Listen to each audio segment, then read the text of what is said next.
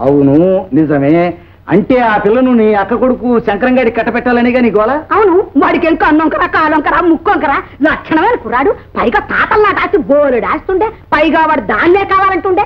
చేస్తే పోలే. ఎలా? ఇది చూస్తే కాలేజీలో చదువుతా ఉండే.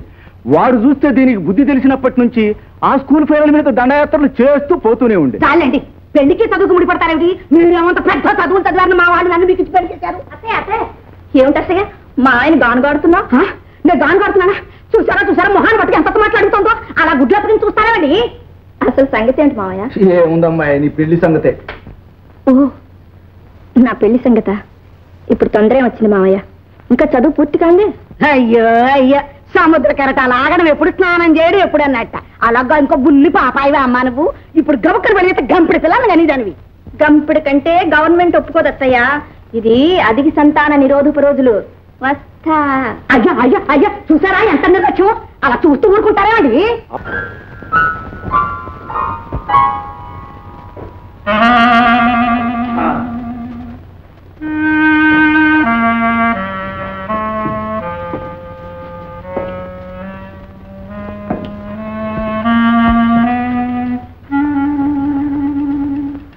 ఇదిగో చూడలే ఏమిటి ఆ నిక్కి చూస్తున్నావు? నీకే ఎందుకమ్మ వయసులో ఉన్న కుర్రాళ్ళ గొడవ. నీ దారిని నువ్వు పోరాదు. ఇదిగో చూడు. ఇగో చూడు. ఏమో పెద్ద చిన్న తారతం మంది లేకుండా సరసం కోటు మాసిపోయినా వెళ్ళా ఇల్లు ఎవరు అనుకున్నావు? అది కాదు పిన్ని గారు. ఊరికుంటారు గాడిద వర్షాలు పడగలుగుతున్నావా నువ్వు? మొన్న మంగమ్మ గారి ఎత్తుకుపోతావు ఈ రోజు సరాసరి ఈ దుర్గమ్మ ఇంట్లో వరదమ్మని ఎత్తుకుపోతావు. ఎనడమే నీ తాతలు అంటారు, నక్కలు. నేను దొంగన కాదు పిన్ని గారు. మరి దొరవా? ఈ సూటు బూట వేసుకుని మనందరినీ మోసం చేద్దామని వచ్చావా? చెప్పు. ఎందుకు దొంగతనానికి రాలేదు పిన్ని గారు. సుశీల కోసం? సుశీల కోసం వచ్చావా? ఇదిగో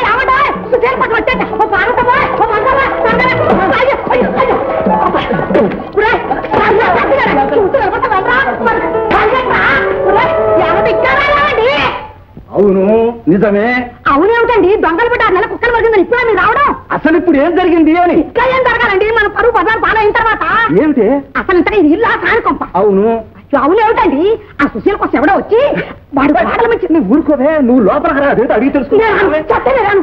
ఇదిగో మిమ్మల్ని ఈ పరువు మర్యాద కోపాన్ని ఒక క్షణం ఉన్నాను. పదండి నన్ను మా పుట్టింటి తిప్పండి నువ్వు ఆగవే ఆ సంగతి ఏమిటి ఇప్పుడే తెలియచేస్తాను. అయితే వచ్చింది చేస్తాను. నువ్వు కాలేజీకి వెళ్ళడానికి వీల్లేదు. చదువు గిదువు కట్టిపెట్టి మావయ్య ఏమిటి అర్థం లేని మాటలు? అవును నిజమే. అవును మాటలు కాదు. ఇది నా శాసనం. అనర్థాలకు దారితీస్తున్నప్పుడు ఆపక తప్పదు. ఆడపిల్లను పట్టుకుని ఏవో నిందలు వేసి అల్లరి చేయడం ధర్మం కాదురా. మీ పంచన పడున్నామని అపవాదులేస్తారు మీరు చెప్పిన వాడిని కట్టుకోలేదనేగా అల్లరంతా. మా ఆస్తి మాకు పారైంది. మా దారి మేము చూసుకుంటాం. ఓ అబ్బో ఆస్తి. మీ ఆస్తి ఇంకా ఎక్కడ నేనాడే పోయింది. బెల్లగొట్టు ఇలా మాట్లాడామండి అది అలా తెగేసి అడుగుతుంటాను నీ ఆశ. నీ అమ్మ రోగాల కింద నీ చదువుల కింద ఎప్పుడో ఏనాడో హరించిపోయింది.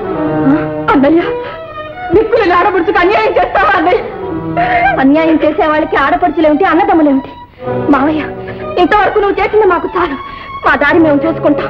కష్టపడి చదువుకున్నాం. ఏ ఉద్యోగం చేసుకున్నా తల్లి నేను పోషించుకుంటాను. మహారాణిగా తీసుకెళ్ళమ్మా. మా పీడ దుర్గమ్మ. అమ్మా.